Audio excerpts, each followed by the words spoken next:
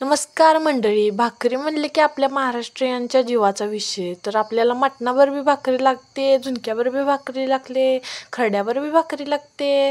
आणि तसं त्यामुळे आपल्या सामान्य लोकांच्या तरी रोजच्या जीवनात भाकरीही असतेच. तर ही भाकरी आपण रोज खातो तर म्हटलं आज आपल्या यूट्यूब फॅमिलीला बनवायची कशी हेही दाखवूया. तर काय करायचं? तर आपली भाकरी मऊ लुसलुशीत होण्यासाठी काय करायचं? तर परातीत आपण जे पीठ घेतलेलं असतं त्याच्यामध्ये एक गोलाकार वाफ तयार करायचं आणि त्याच्यामध्ये तव्यात थोडंसं पाणी गरम करायला ठेवायचं. ते गरम झालेलं पाणी मस्तपैकी आपल्या पिठामध्ये ओतून घ्यायचं आणि उलताण्याच्या साह्याने मस्तपैकी मिक्स करून घ्यायचं. त्यानंतर ते सगळं पीठ एकत्र करून मिक्स करायचं आणि त्याचा गोळा बनवून घ्यायचा. गरम पाण्याची उतवणी केल्यामुळे आपली भाकरी तुटतही नाही आणि मस्त गोलाकार अशी तयार होते. गावाकडे एक अशी म्हण आहे की भाकरी बघावी तर काटात आणि पोरगी बघावी तर नाकात. तुम्हाला माहीत आहे का ही? भाकरी बनवण्याची मेन ट्रिक आईने मला सांगितली. ती म्हणजे भाकरीचं पीठ जेवढं जास्त मळेल तेवढं ते जास्त आपल्याला भाकरी बनवण्यासाठी सोपं जातं.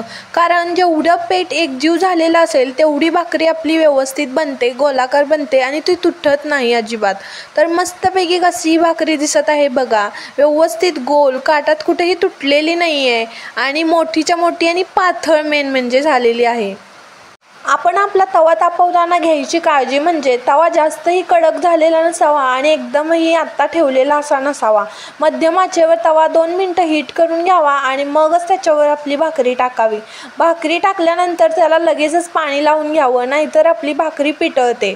मस्तपणे आपण पाणी लावून घ्यायचं आणि दोनच मिनटामध्ये भाकरी उलटून घ्यायची आणि एका बाजूने मस्तपणे तव्यावरती शेकून घ्यायची.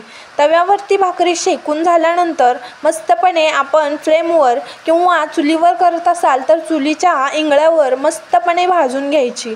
मस्तपणे अशी भाकरी आजूबाजूला आलटीपलटी आलटीपलटी करून भाजून घ्यायची. भाकरीला पूर्णपणे थोडेफार डाग पडस तोपर्यंत भाकरी आपली भाजून घ्यायची. आता आपली मऊ लुसलुशीत आणि दोन दिवस टिकणारी भाकरी तयार आहे. अशीच भाकरी तुम्ही बाजरीचीही बनवू शकता तांदळाचीही बनवू शकता. तर कशी वाटली रेसिपी आवडली तर नक्कीच सबस्क्राईब करायला विसरू